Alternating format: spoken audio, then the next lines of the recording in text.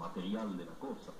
Pero tú comprendes haber estado pegando al azar durante un año montones de cosas y luego encontrar una línea conductora que pasa, que pasa por, el perfil de un personaje que baja por un paisaje, por una casa, se desliza por un prado y entra en, la foto de Armstrong tocando la trompeta y pasa por su brazo y sí, bueno, eh, ahí tienes una de las pruebas de que el sentimiento de lo fantástico para mí no, se puede explicar lógicamente. Está y se acabó, no hay más que hablar. Se quede ahí hablando y contándonos cosas para siempre. Qué interesante ese